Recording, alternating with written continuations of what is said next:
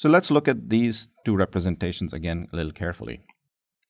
Now, typically to do any kinds of processing, we would actually uh, require us to be able to create a discrete representation of a matrix like this. So something like this can be converted into a matrix, as I've shown before.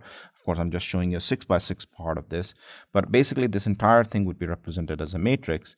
And what we would be doing is basically we're trying to sample the two-dimensional space into a regular grid. In this, the regular grid are basically columns and rows.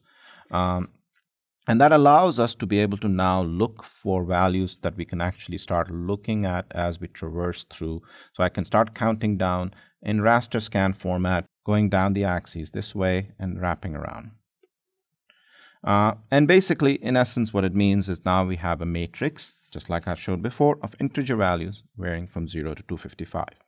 Now my goal is to give you a bit of an intuition of what this image looks like and what are the kinds of things within it. Again, let's take this black and white or a grayscale image and I'm going to now both again zoom in to the red box here but also kind of show you this image in a few different ways.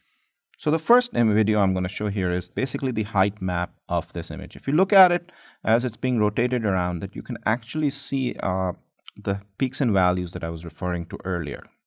And these peaks and values kind of show again uh, that the intensity values of the image have various types of uh, statistics associated with it. And by playing around with those statistics, we can actually do a lot of interesting things to images.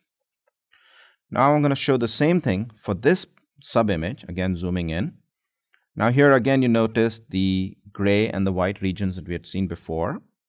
And now in this video what you see basically is as I rotate around uh, that you basically see some of the details and also the the ridge that shows up uh, between the the hill and as we go towards the valley, which is again the lower values of gray here.